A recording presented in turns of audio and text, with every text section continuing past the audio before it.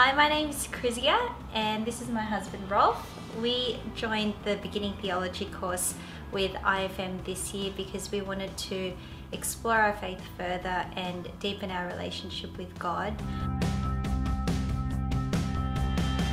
We got to a point where we really wanted to uh, get a deeper understanding and uh, a deeper appreciation of uh, what it is that we live for. And um, I think we really found that with this course and it's been a really good foundation, a good starting point for the two of us in, in, in our journey to towards God. And, mm. and, and in that it's brought us a lot closer uh, as a couple, I think.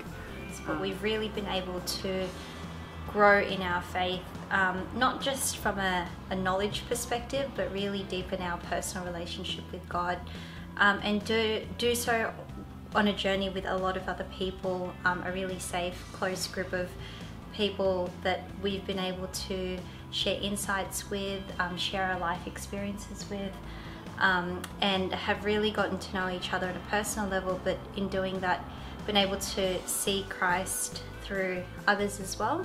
Um, and what's been really beautiful is that we, as a couple who've done it together, we actually get to talk more about our faith openly in our home over breakfast, over coffee, mm. which I think is a real blessing to both of us.